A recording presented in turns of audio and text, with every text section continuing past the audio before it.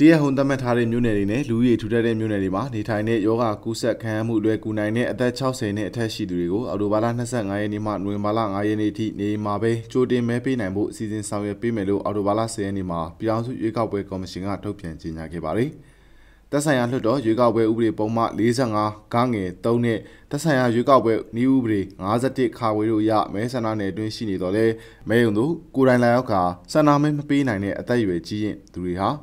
ကြိုတင်ဆန္ဒမဲလက်မှတ်နဲ့ဆန္ဒမဲပေးခွင့်ရှိပြီးအဆိုပါပုဂ္ဂိုလ်တွေကြိုတင်ဆန္ဒမဲပေးနိုင်ဖို့အတွက်သက်ဆိုင်ရာရက်ကွက်သို့မဟုတ်ကျေးရွာအုပ်စုရွေးကောက်ပွဲကော်မရှင်ဖွဲ့ခွဲက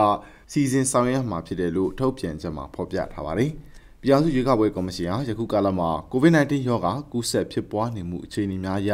စတေးဟိုမြို့နယ်များဖြစ်သတ်မှတ်ထားတဲ့မြို့နယ်တွေနဲ့လူဦးရေထူထပ်တဲ့မြို့နယ်များတိစတူရန်ကီလိုမီတာတွင်ပြင်းပြလူဦးရေ 9000ဦးနဲ့အထက်မှာနေထိုင်တဲ့ယောဂကုသခံမှုလွယ်ကူနိုင်တဲ့အသက်60နှစ်အထက်ရှိသူ1960ပြည့်နှစ်နဲ့ရင်းနှစ်များဤရှေ့ပိုင်းတွင်မွေးဖွားခဲ့သူတွေကိုအော်တိုဘာလ29ရက်နေ့မှနိုဝင်ဘာလ9ရက်နေ့ထိနေအိမ်မှာကြိုတင်ဆန္ဒမဲပေးနိုင်ရေးအတွက်သက်ဆိုင်ရာရက်ကွက်သို့မဟုတ်ကြေးပါအုပ်စုရွေးကောက်ပွဲကော်မရှင်ခွဲအဖွဲ့တွေကစီစဉ်ဆောင်ရွက်ပေးမယ်လို့ထုတ်ပြန်ချက်ကဆိုပါတယ်။